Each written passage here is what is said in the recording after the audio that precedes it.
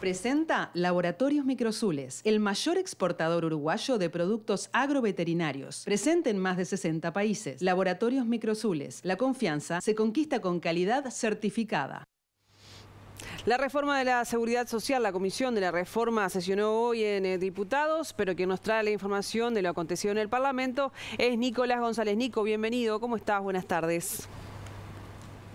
Un gusto, Rosario, ¿cómo te va? El saludo para todos. Sí, una comisión que hoy recibió a dos ministerios, el Ministerio del Interior y el Ministerio de Defensa Nacional, que también tuvo la participación de la representación de la República FAP y también estuvo la ONASPU eh, presente aquí también reunido con los legisladores. Vamos a comenzar por lo que pasó en la tarde con el Ministerio de Defensa. Estuvo aquí eh, justamente sobre las 14 horas Javier García para participar de esta comisión especial que tiene el tratamiento de esta reforma de seguridad social, este que ya tiene la aprobación de la Cámara del Senado y que en estos días está tratándose en esta comisión para luego ser tratada en la Cámara de Representantes, votar en la Cámara de Representantes seguramente sobre el mes de marzo. La realidad es que hoy García desmintió algunas cosas que se vienen diciendo por parte de la oposición, del Frente Amplio. entre otros puntos dijo, por ejemplo, que aquí no hay eh, mayores privilegios para, por ejemplo, eh, eh, las jubilaciones más altas dentro de los cargos militares, porque aquí hay que incluir claramente a la caja militar dentro de todas las reformas que se hace de todas las cajas. Y lo otro que también señaló, en otro punto, el propio ministro de Defensa Nacional, tiene que ver con que en realidad eh, no se va a desarrollar una especie de transición más extensa que el resto de las cajas precisamente. Por ejemplo, que cualquier jubilado común.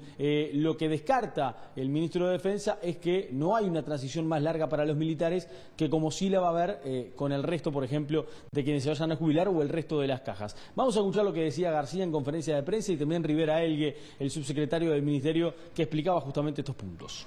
Frente Amplio impulsó un beneficio único, no tiene otro sistema, que es además de haber reconstituido la carrera, lo que hizo que llegaran, por ejemplo, a generar gente que tenía grados muy inferiores, le agregó un 25% más de haber jubilatorio de por vida que no tiene ningún otro beneficio. Entonces, si alguien dice que eso es privilegio, son los que otorgó el Frente Amplio políticamente. Esta es una reforma que para todo el sistema prevé una transición, la verdad que este, de una extensión.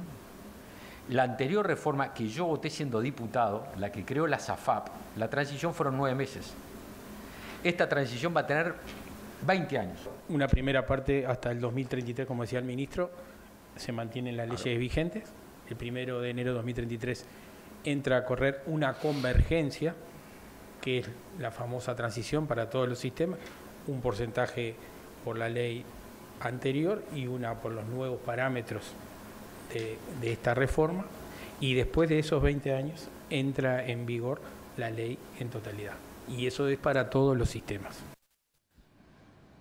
Vamos a recordar que cuando se estaba generando justamente este proyecto de la reforma de seguridad social, en aquel momento Saldaña había tenido reuniones justamente con el Ministerio de Defensa, también, también con altos cargos del Ejército Nacional, y en aquel momento se habían hecho hasta ocho eh, iniciativas, se habían presentado hasta ocho iniciativas de poder mm, generar algunas modificaciones que tienen que ver más que nada con bonificaciones y también con bueno lo que significa la, la exceptualidad que tiene el trabajo militar. Bueno, sobre eso puntos hay que tener en cuenta que se llevaron a cabo siete o se consideraron siete y hay uno que se dejó fuera. Hoy también eso estuvo en la discusión. Otero, el diputado del Frente Amplio, responde a esto que decía García, porque para el Frente Amplio sí sigue habiendo ciertos privilegios en altos cargos, por ejemplo a la hora del retiro, y también para el Frente Amplio sí hay una transición que es más larga, más extensa que para el resto de las jubilaciones dentro de esta reforma claramente el retiro es uno de ellos. El retiro tiene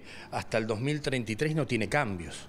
Del 2033 en adelante hay algún cambio en el retiro voluntario y en el retiro este, bueno, por obligación, pero es mínimo realmente el, el cambio que tiene. El tema de ser justos y equitativos, claramente acá hay una simetría enorme con lo que va a seguir siendo eh, la jubilación o el retiro de los militares con respecto al resto de los trabajadores. No hay duda de eso.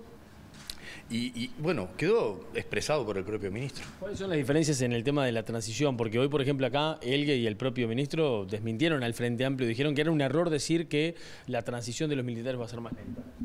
No, pero la transición de los militares va a ser más lenta, lo dice la propia ley. Es decir, se, está se, estaría llegando al 2070 con el fin de la, de la transición que, que, el ministro plantea. Y estamos hablando de una diferencia de cinco años más para jubilarse. No, no es duda. O sea, no hay un tema de interpretación, es un tema que el ministro niega y que la ley claramente afirma. El que estuvo allí, Nico, también fue el ministro de Defensa, ¿no? Del Interior. Ah, perdón, perdón, el ministro. Eh, perdón, perdón, ministro del Interior. Gracias Exacto. por. Ahí está, ¿y qué pasó ahí? Exacto, sí más temprano en la mañana estuvo precisamente sí Heber y de alguna forma, bueno, Heber eh, dice que este proyecto de la reforma de seguridad social, bueno, eh, también beneficia al, policía porque, por ejemplo, eh, reduce los años de cálculo de trabajo, pasa de 35 a 30 y también dice que por cada cinco años que trabajen van a computar siete. Ese también es un beneficio que va a tener el efectivo policial dentro de esta reforma de seguridad social. Esto decía hay un beneficio que, que, era muy injusto, que, antes no lo tenían todos los trabajadores y no lo tenían los policías, que el cálculo de los años de trabajo para todos los funcionarios públicos el mínimo es de 30 años y en la policía, no sé por qué, era de 35 años. Entonces, en aras de la justicia que el sistema viene instrumentando, se baja de esos 35 años a los 30 años, equiparándolo con todos los funcionarios de la administración pública. Con el beneficio que ya mencioné, que es que se calcula 5 eh, años, de cada 5 años son 7 años de servicio producto de, del riesgo y, la, necesidad de estar en forma por parte de la policía para cumplir la tarea de proteger a nuestro pueblo. En ese sentido hubieron una serie de preguntas sobre el tema del régimen de incapacidad. Tenemos lamentablemente mucha gente certificada en el Ministerio del Interior y amparada en el sistema social, algunos justificadamente, otros me parece que eh, abusan de un sistema generoso, pero bueno, es parte de la gestión del trabajo que tenemos que hacer todos los días para tener la mayor cantidad de policías en la calle.